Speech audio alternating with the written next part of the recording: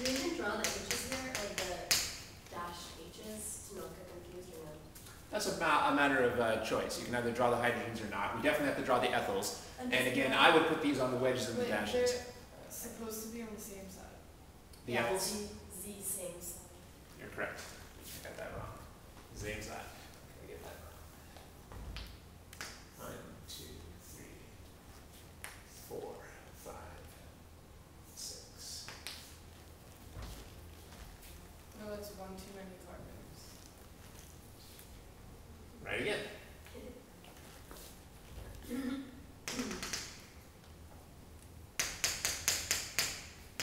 It doesn't matter whether you put the ethyls on two dashes or two wedges, because clearly if you flipped it, they would go from wedges to dashes here.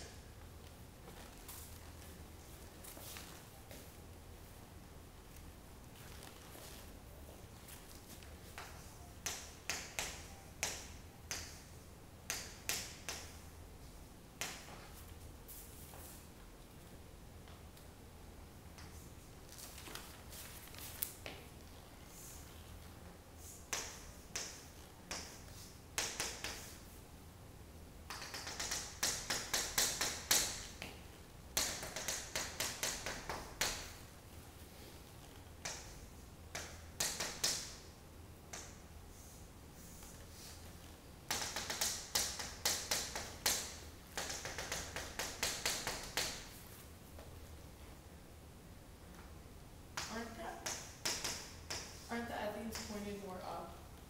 In these pictures? Yeah. Well, no, because the bromine is above.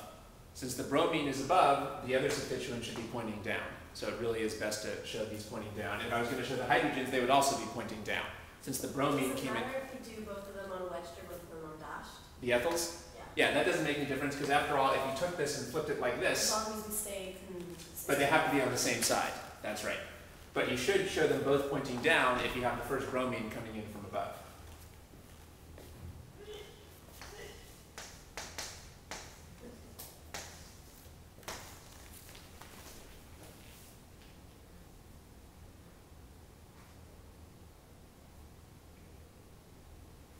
If you're going to show the hydrogens, you should put them on wedges since you put the on dashes. And remember, our approach is to bromine in the plane of the page.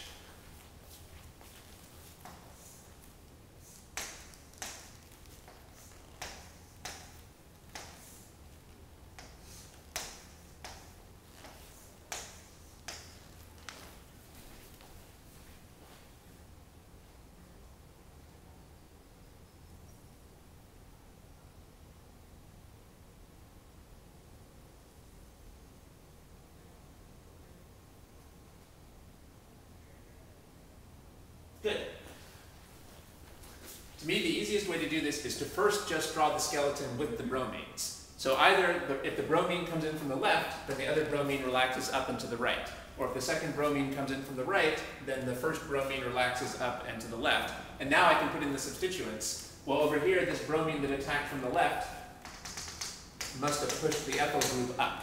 If I was going to, I could still show the hidden hydrogen on the wedge, also pointing up.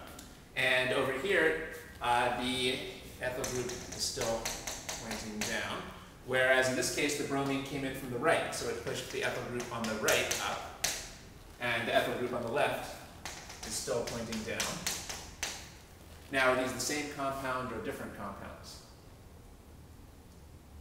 Um, um, those are different. If we took this top compound and rotated it vertically, the Like, If you took the bottom one and flipped it horizontally, horizontally, then the bo- the bottom ethyl would be facing toward you. Right. A horizontal flip won't work because it would put this ethyl on the wedge where we would need it on the dash. And a vertical flip wouldn't work because, again, it would put the ethyl on a wedge where we need it on a dash. So these are different. How can you get this skill of flipping and rotating things in your head to see if they're the same or they're different? Only with lots of practice. You want to make flashcards of the cases that are difficult for you and just keep drilling on them over and over. Most people never build this skill, and the reason is they don't have enough flashcards and drills that they've, they've done on it. It just takes practice. So we really do get the two different products here. So again, I think the best approach here for a non-cyclic alkene attacked by Br2 or Cl2 is to draw the substituents on wedges and dashes and keep the bromines in the plane of the page. So we did a bunch of examples of that here. So is this anti-addition or syn-addition? Um, Anti. anti. Anti, and what's the part of the mechanism that explains why it's anti? The Because the bromines are on different sides. it attacks from the bottom. The steric hindrance issue. If the first bromine is already above, there's too much steric hindrance above for the second bromine to come in from above. Okay, good. Well, we should definitely do uh, part E as well because cyclic is a little different from non-cyclics. Let's do part E.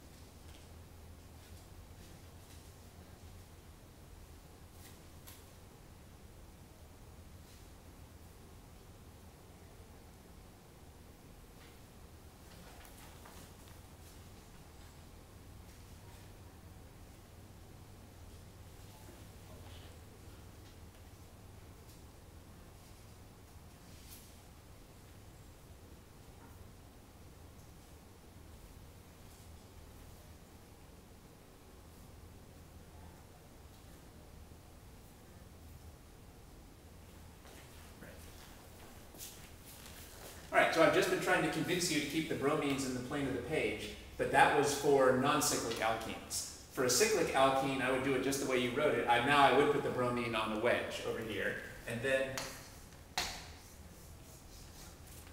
is this second bromine going to come in from in front or from behind? Um, from behind. Because the front is blocked by steric hindrance. So if we have the second bromine attacking the top carbon, then it should come in from behind, and that leaves on the bottom carbon, the bromine is in front. On the other hand, if the second bromine comes in from below, then the bromine will be on the dash below, and it'll be up over here. Now, are these the same or different? Um, that's what I didn't know. Um, I would say different. Do you agree? I haven't thought about it. I think they're different also. So Okay. if you flip it around, then you would have the top one on dashed and the Right. bottom. That puts you guys way ahead of the Oh. game, Wait, or maybe not so far, far ahead of the game. yeah, yeah, yeah, yeah. Ah, we're back in the game. All right. Well, 95% of students would say these are the same, but they're wrong. They think that you can just say do a vertical flip. But if we do a vertical flip, this bromine, if you flip it, will be on a wedge, and it still won't be the same as this one down here. Again, if you're not sure about this, you want to make this into a flashcard and just keep drilling on it. It just takes practice to tell whether two pictures are the same or different. So we really do get two different products here. So I this, uh, this halogenation reaction is actually kind of complicated as far as the stereochemistry. I've been recommending that when you're adding to a non-cyclic alkene, you should put the substituents on the wedges and dashes and put the bromine in the plane of the page. But if you are adding to a cyclic alkene, I would recommend doing it like this and put the bromine on the wedge or the dash and keep the substituents in the plane of the page because it's just too, uh, because you don't, wouldn't normally put wedges and dashes on a ring, so we have to put this, the, the bromine there. Well, this is the exact type of problem that I think people get the most benefit out of. These problems where you have a lot of little variations on the same thing. So this is a good problem to go back